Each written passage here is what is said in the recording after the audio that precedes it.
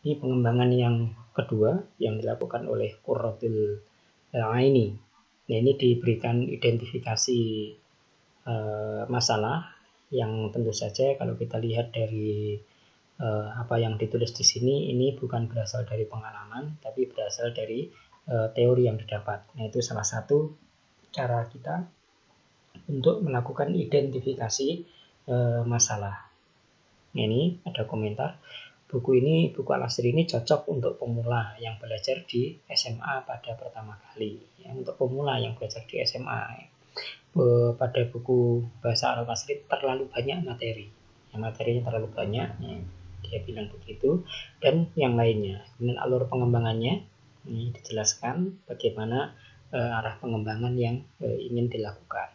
Kemudian uh, di bawah ini langsung ya, ada pengembangan-pengembangan Nah, di sini uh, ada beberapa hal yang perlu saya berikan uh, komentar. Uh, saya tadinya berharap ya bahwa uh, buku pengembangan itu merupakan buku jadi. Ya, jadi bukan lagi merupakan buku draft. Ya, ini nampaknya masih berupa draft karena dilihat dari fontnya terlalu kecil ini kalau dijadikan sebagai buku ajar. Jadi eh, di atas ini itu ada Ad-Darsul Awal, gitu ya. Ad-Darsul Awal, Al-Waqtal Ula, kemudian judul ada di tengah, Wasailun Naql.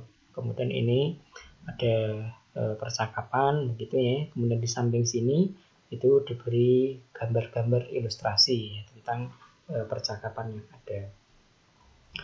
Eh, kemudian ada asilatul istiab, ya ini oke, okay, ya, ini seperti ini ya, untuk me eh, menanyakan atau eh, pemahaman ya dari bacaan atau eh, teks percakapan di atas.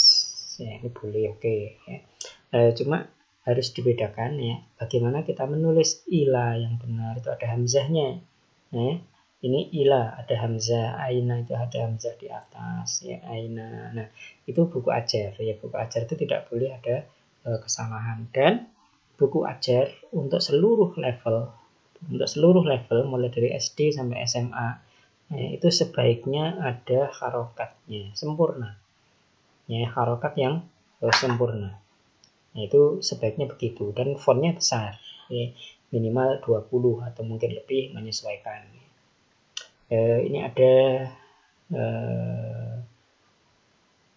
eh, pertanyaan seperti ini. Ayin sohihan sat au ini uh, instruksinya masih uh, ambigu ya belum jelas.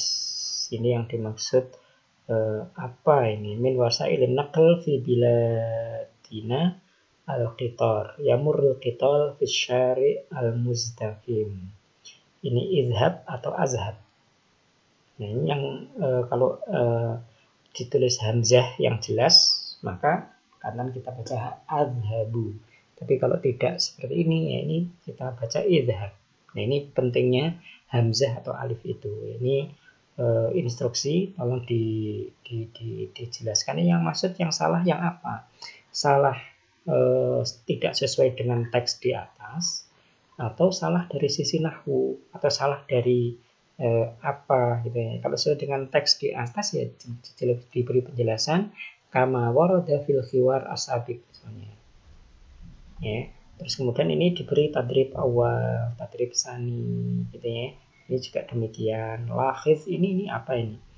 Ini masih juga ada tanda seru di bawah atau di belakang. Ya ini sekali lagi itu namanya adalah at-tadakhul al-lughawi ya at-tadakhul al-lughawi Nah, kemudian ini di berikutnya juga masih sama ya. Eh, al-adat wal ma'dud ini penulisan spasi ya antara ma'dud huruf tel dengan fi itu harus ada. Kemudian ini tentang adat dan ma'dud menjelaskan adat ma'dud itu repot ya susah. Jadi adat ma'dud itu harus dijelaskan. Kalau menurut saya ya dalam beberapa kali pertemuan. Tidak cukup dalam satu kali pertemuan ya kemudian dijelaskan seperti ini.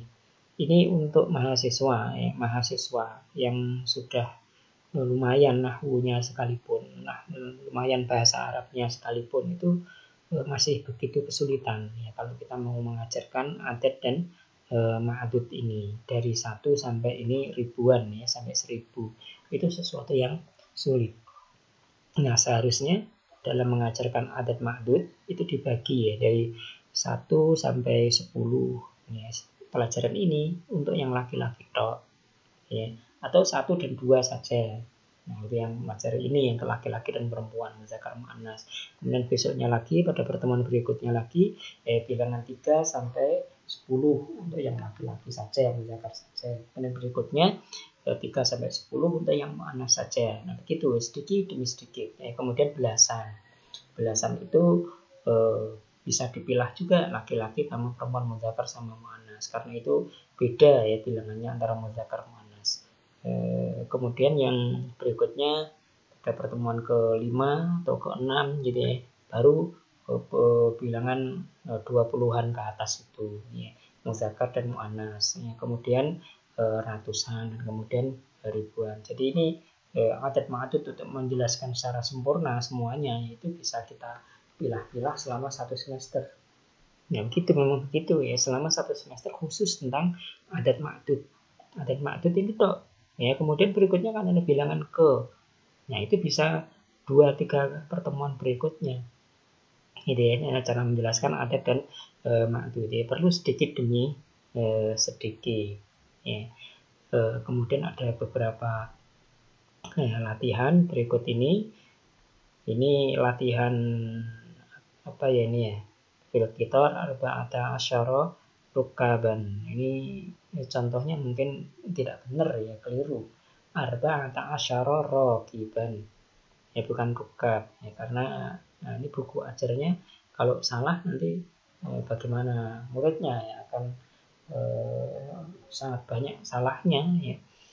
Maka eh, makanya itu perlu dilatih sedikit demi sedikit. Ya latihannya juga demikian. Ya satu sampai 10 dua ya laki-laki perempuan dua pertemuan gitu ya.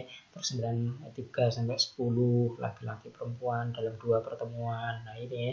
Terus kemudian eh, belasan itu ya, belasan itu dalam dua pertemuan ya. Kemudian eh, berikutnya itu sudah enam pertemuan kan? Tujuh pertemuan berikut pertemuan ketujuh ya ada selanjutnya nah gitu ya. Latihannya juga demikian ya sedikit demi se eh, sedikit. Jangan semua ini atau semua ini kemudian di eh, apa ya dibrukkan gitu ya saat dalam satu kali pertemuan bisa dilakukan itu ya. Kemudian ini eh, berikutnya maharot. Eh, maharot itu kurang diadopsi ya. Mana maharotul kiroa mana maharotul eh, alam istima nah itu seharusnya ada dalam setiap setiap bab ya dalam setiap bab buku ajar Kemudian soal ya pertanyaan tarjim itu e, menurut saya pribadi kurang pas itu kalau dimasukkan di buku ajar. Jadi dalam buku ajar itu tidak perlu ada perintah untuk menerjemahkan dari bahasa Indonesia ke bahasa Arab atau sebaliknya. Tetapi ya guru itu dari teks-teks yang ada ini ya bisa memerintahkan kepada muridnya untuk ya untuk menerjemahkan dari teks Arab ke Indonesia. Itu yang kita anjurkan ya. Jadi bukan bukan sebaliknya bukan dari Indonesia ke Arab tidak tapi dari Arab ke Indonesia. Karena Arab ke Indonesia itu butuhkan pemahaman. Ya sedangkan dari Indonesia ke Arab itu untuk tingkat yang sangat tinggi. Ya jadi jangan dianggap mudah ya menerjemahkan dari dari Indonesia ke eh, ke Arab. Itu sesuatu yang eh, luar biasa. Sedangkan kita eh, lebih melatih ya kepada ya, keterampilan keterampilan yang ada itu. Jadi terjemah itu keterampilan yang ke kelima itu ya. Ya keterampilan yang kelima yang itu e, membutuhkan pengetahuan yang lebih terhadap bahasa Arab itu sendiri maupun bahasa Indonesia itu sendiri. Jadi jangan terlalu ya jangan terlalu memerintahkan kepada murid-murid untuk menerjemahkan terutama dari Indonesia ke Arab ya terutama ini dari Indonesia ke Arab kosakata sekali lagi ya kosakata itu sebaiknya tidak diterjemahkan demikian. Ya tidak terjemahkan seperti ini. Tapi suk itu gambar pasar gitu loh. Baik gambar penjual ya. Torik ya itu tanda ini apa uh,